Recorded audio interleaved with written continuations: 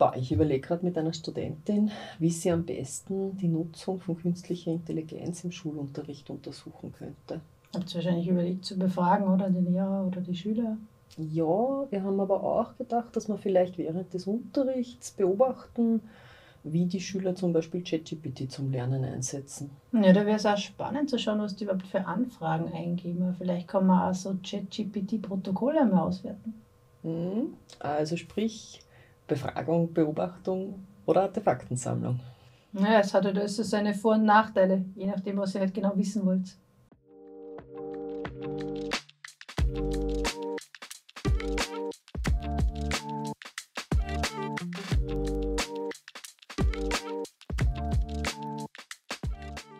Was findest du eigentlich die wichtigsten Vorteile von der Befragung?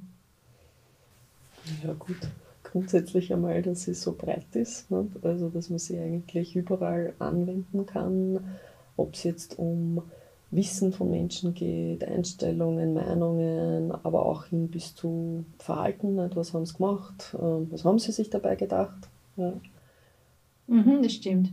Und was ja da ganz ein wesentlicher Vorteil ist, dass man gut Zugang bekommt zur subjektiven Sicht. Das heißt, man kann relativ gut herausfinden, welche Bedeutung sie Dinge zuschreiben, wichtig ihnen Sachen sind, wie sie Erlebnisse interpretieren. Das geht eigentlich fast nur mit Befragung. Kaum eine andere Methode kann das so gut. Hm.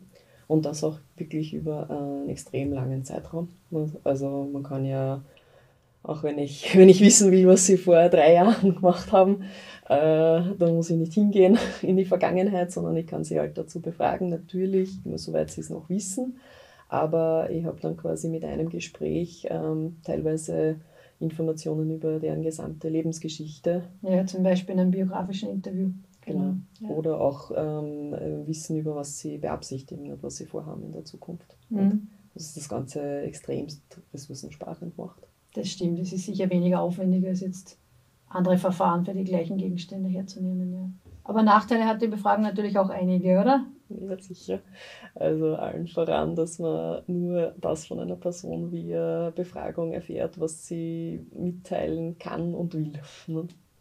Also, man ist abhängig von den Befragten ziemlich stark, ja. Mhm. Ja, wie gut sie sich ausdrücken kann, ähm, woran sie sich erinnern kann, ähm, auch ob sie bereit ist, mit äh, der Person, die sie fragt, sei es elektronisch oder persönlich. Äh, beim Interviewen ist es, ist es noch ein Tick intensiver, dass dieses Verhältnis zwischen der befragten Person und den Befragenden äh, halt passen muss. Ne? Ja, das erleben wir schon oft auch, gerade in qualitativen Interviews. Nicht alle öffnen sich gleichermaßen. Nicht alle sind in derselben Weise fähig, auch sprachlich Dinge auszudrücken, gerade wenn es um Emotionen geht. Sachen, die weiter zurückliegen, sind auf jeden Fall von der Erinnerung, Erinnerung stark verzerrt auch. Oder mhm. Sachen, die routiniert sind, also die ich einfach im Alltag mache, ohne wirklich viel darüber nachzudenken, ob ich jetzt auf mein Handy schaue, wie oft ich auf mein Handy schaue. Ich kann ja zwar einschätzen, wie oft es ist, aber die Chance ist relativ hoch, dass das einfach nicht stimmt. Das, was ich bei ja, die Hälfte nicht Also Routinen. Ja. ja, ein Unbewusstes können wir natürlich gar nicht erheben. Ne? Ja. Alles, was mir nicht bewusst ist, kann ich nicht verbalisieren. Da sind die Grenzen dann, dann schon sehr deutlich auch da. Mhm.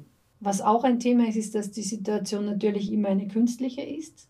Das heißt, die Befragung findet in einer Situation statt, die sehr stark gestaltet ist. Und auch das nimmt natürlich Einfluss darauf, wie die Leute antworten. Wie stelle ich die Fragen, aber auch wann und wo findet das statt, unter welchen Bedingungen. Also einige der Probleme, die man bei Befragung hat, kann man ja auch äh, auflösen, indem man einfach beobachtet. Ne? Also gerade wenn es um die Erfassung von Verhalten geht. Ne? Da, ist man, da ist man dort und sieht, was die Person tut und sieht das unabhängig davon, ähm, wie gut sie es ausdrücken kann oder selbst weiß, was sie tut. Ja, also die ganze Verzerrung durch sprachliche Fähigkeiten, Erinnerungsvermögen, Routine, aber vor allem auch Unbewusstes. Also mit der Beobachtung kann man ja tatsächlich auch Verhalten erheben, das die Leute selber gar nicht wissen, dass sie machen. Mhm. Das ist schon ein sehr großer Vorteil, finde ich. Mhm. Das auch potenziell in einem extrem natürlichen Umfeld. Also dort, wo sie, man kann sie ja bei einer Feldbeobachtung richtig dort erwischen, wo sie äh, üblicherweise sind.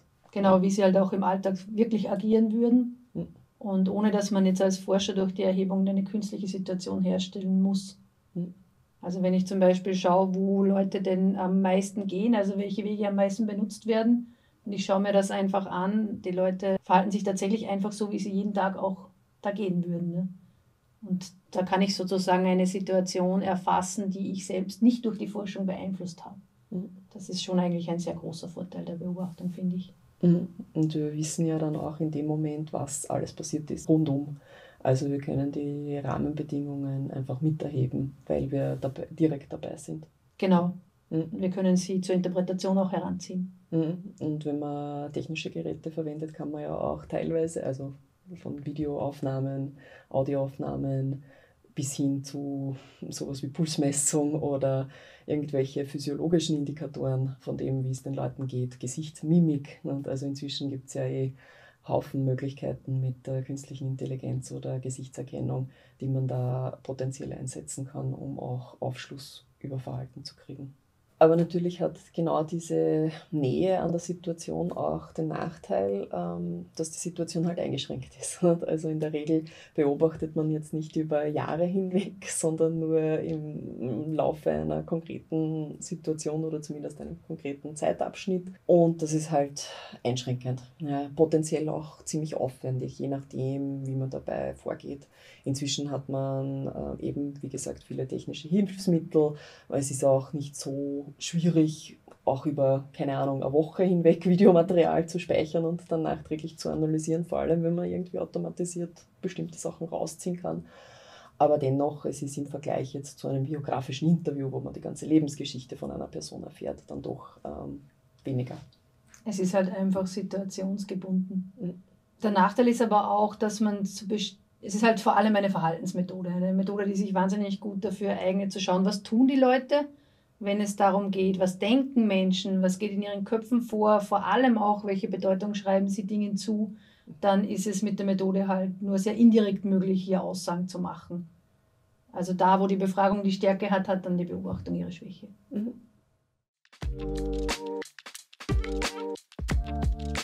Also mit Befragung und Beobachtung hat man eigentlich schon ziemlich viel abgedeckt. Das sind ja auch die etabliertesten klassischen Erhebungsmethoden der empirischen Sozialforschung.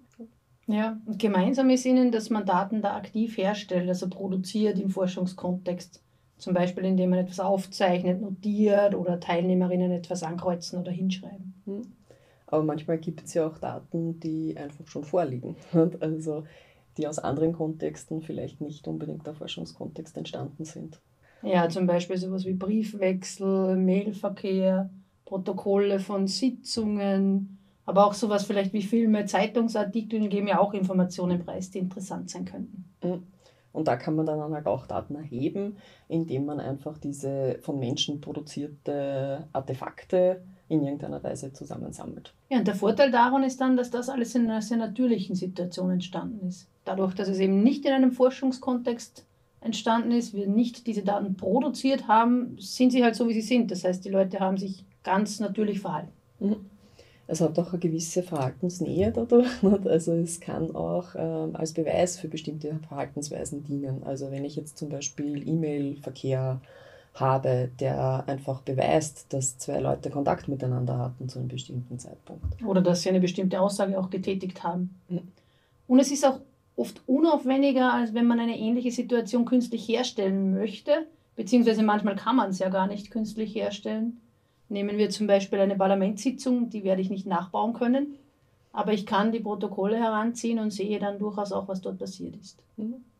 Aber bei der Interpretation solcher Protokolle muss man natürlich die Grenzen davon auch mitdenken. Ähm, also dass nur weil etwas so drinnen steht im Protokoll, ist das ja nicht unbedingt ein eindeutiger Beweis, dass es passiert ist. Ähm, vor allem sind vielleicht Sachen passiert, die nicht protokolliert worden sind. Oder wenn wir zurück an die E-Mails denken, und ich, ich kann zwar belegen, dass jemand vielleicht eine Meinung geäußert hat, aber je nachdem, an wen sie das geschrieben hat und was da die Hintergründe waren, ähm, muss diese geäußerte Meinung auch nicht unbedingt ihrer tatsächlichen Meinung entsprechen. Das hat damit zu tun, dass wir den Entstehungskontext der Daten eigentlich selten kennen. Und der wäre halt für die Interpretation oft schon recht wichtig. Mhm. Auch insofern, als ähm, man vielleicht aus dem Entstehungskontext gar nicht an alle Infos rankommt, die, man, die, die einen selbst interessieren. Ja, also, wenn ich zum Beispiel jetzt bei einer Sitzung mich nicht dafür interessiere, welche politischen Entscheidungen getroffen worden sind, sondern wie die Leute miteinander agieren, welche gruppendynamischen Prozesse dort passieren, dann wird das sicher nicht im Protokoll stehen. Das heißt, oft enthalten diese Daten dann nicht immer genau das, was wir eigentlich brauchen und eignen sich dann nicht für jeden Kontext. Und man kann nicht im Nachhinein nachfragen. Wie man sieht, hat jede Methode so ihre Vorteile, aber natürlich auch ihre Nachteile. Ja, und die Kunst der Forschung liegt ja darin, einen Weg zu finden, der möglichst viele Vorteile zur Beantwortung der eigenen Forschungsfrage bringt.